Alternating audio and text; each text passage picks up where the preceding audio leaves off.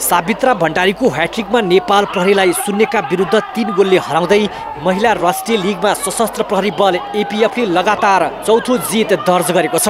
सातो बाटो स्थित एम्फा कम्प्लेक्समा भएको खेलमा बलियो प्रतिद्वन्दी नेपाल प्रहरीलाई दावेदार एपिएफले खेल अवधिभर दबावमा राख्यो। बत्तिसौँ मिनटमा अनिता केसीको अश्लिष्टमा सावित्राले गोल गरिन् र पहिलो हाफ एक शून्यको नतिजामा सकियो। दोस्रो हाफमा एपिएफले थप दुई गोल गर्यो। छप्पन्नौ र चौरासीौँ मिनटमा सावित्राले गोल गर्दा ह्याट्रिकको सफलता प्राप्त गरिन्। चौथो खेलमा गोल मसिन सावित्राको यो तेस्रो ह्याट्रिक हो।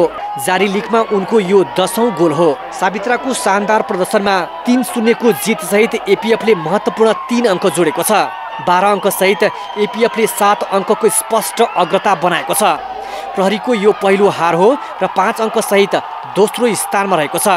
अर्को खेलमा विदेशी खेलाडी मिथो लोइडी रुथको डबल ह्याट्रिकमा चौदण्डगढी नगरपालिकालाई दस शून्यको फराकिलो अन्तरमा हराउँदै वालिङ नगरपालिकाले पहिलो जित हात पारेको छ। मिथो एक्लैले छ गोल गरिन्। जारी लिगमा डबल ह्याट्रिक गर्ने मिथो पहिलो खेलाडी हुन्। यस्तै सम्झना शर्माले दुई तथा मनमाया दमाई र टाउटा ओरानेलाले एक एक गोल गर्दा वालिङले चौदन्दी गढीलाई दस शून्यले मात दियो। वालिङको यो पहिलो जित हो र पाँच अङ्कसहित लिगको तेस्रो स्थानमा छ। चौदण्डी गढीको यो लगातार तेस्रो हार हो। शुक्रबार नेपाली सेना र चन्द्रपुर नगरपालिका बीच खेल हुनेछ।